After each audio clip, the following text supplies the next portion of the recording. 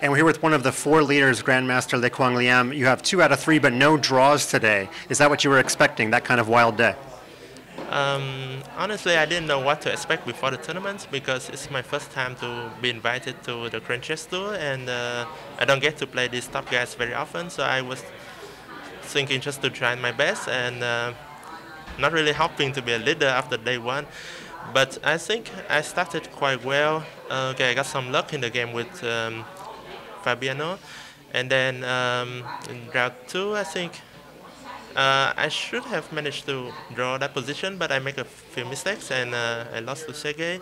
And then this round, I, I felt that um, Hikaru was trying to win, but then perhaps he, he pushed too much. And then um, after this, queen takes e6 and queen d6, I think I have a, I had a really good winning chances.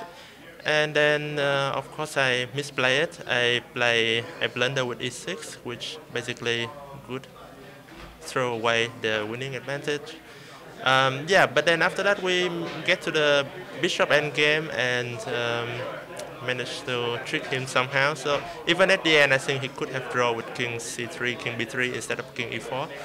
Yeah, but in general, I'm very happy with my play today and uh, look forward to tomorrow. And Hikaru was halfway out of his chair when he shook your hand. I'm assuming you did not exchange any words after round three? Uh, no, uh, we did not say anything. Now, in 2013, you were officially the alternate for the Sinquefield Cup, but other than that, you've not played an elite level tournament here in St. Louis, even though you went to school here for so many years. So, was this something that you were looking forward to doing all that time that you went to Webster? Yeah, it would be my great honor and pleasure to be invited to the top events, and I hope that uh, I'll get my invitation in the future. And uh, going back to round one, you had uh, no queen on the board, but you forced mate. Did you find a little bit of beauty in this checkmate? Yeah, it was really a pleasure to find that checkmate, and um, yeah, it's it's just un very unfortunate for Fabiano. He was completely winning before, but he missed this idea, and uh, yeah, I mean that's one thing that happens very often in rapid and blitz chess. That very exciting, but we also make a lot of mistakes. And final question, we're asking all of the players: Have you checked to see if you're playing Gary tomorrow or Wednesday? Uh, I think I'm playing Gary in round 8, so it's the day after tomorrow.